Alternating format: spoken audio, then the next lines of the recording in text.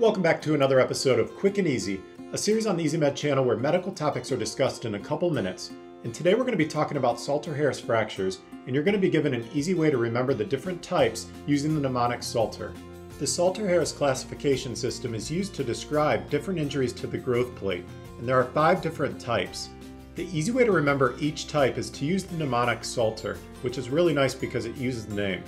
So we're going to talk about each of these independently, but S stands for straight across the physis or growth plate, A stands for above, L stands for lower, T stands for through, and R stands for ruined or crushed. When using the mnemonic Salter to remember the different Salter-Harris fractures, the orientation to remember is that the metaphysis will be superior to the growth plate or the physis, and the epiphysis will be below that growth plate. A type 1 Salter-Harris fracture is a fracture that goes straight across the growth plate, and the way to remember this is using the letter S for straight across. It has an excellent prognosis, and treatment is usually non-operative.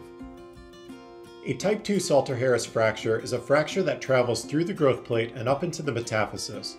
So the way to remember this is to use the second letter of Salter, which is A, and A stands for above the physis. Prognosis is excellent, and treatment is usually non-operative.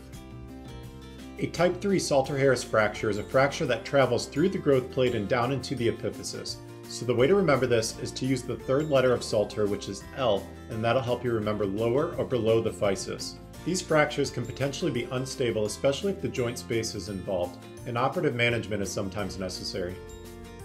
A type 4 Salter-Harris fracture is a fracture that travels through the metaphysis, through the physis, and through the epiphysis. So the way to remember this is to use the fourth letter of Salter, which is T, and that will help you remember through the physis. These fractures are unstable and they can potentially lead to limb length discrepancies, so operative management should be considered. A type 5 Salter-Harris fracture is a crush injury to the physis, and the way to remember this is to use the letter R in Salter. This will help you remember ruined or crushed, Similar to a type 4 Salter-Harris fracture, these fractures can be unstable and lead to limb length discrepancies, and so operative management should be considered. Hopefully this gave you an easy way to remember the different types of Salter-Harris fractures. If you found the video content useful, please consider subscribing to the EZmed channel so you can catch future videos that make medical topics easy. The EZmed blog that corresponds with this video will be linked below in the description. Feel free to check it out if you want additional information on Salter-Harris fractures. If you're interested in other quick and easy videos, make sure to check out the EZmed YouTube channel. Thanks for watching and hope you catch future videos.